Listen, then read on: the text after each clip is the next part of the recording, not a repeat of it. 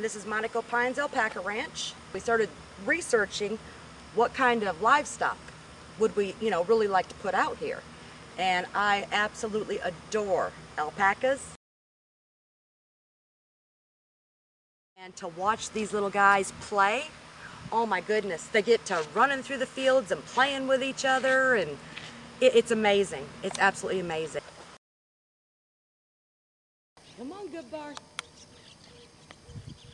Really? Didn't know a thing about farming. Nothing. I, we had to go out and look on the internet to figure out how to build a fence. We have two objectives. We shear them once a year. Shearing is very non-invasive for these animals. Actually, they love it because they get rid of the, the heat, you know.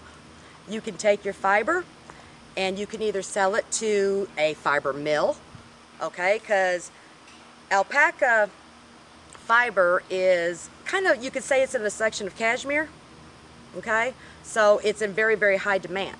Or you can have things made out of it such as yarn, you know, clothing, to sell all kinds of different things. The biggest thing we're trying to do is for fiber, okay, to sell it or make things.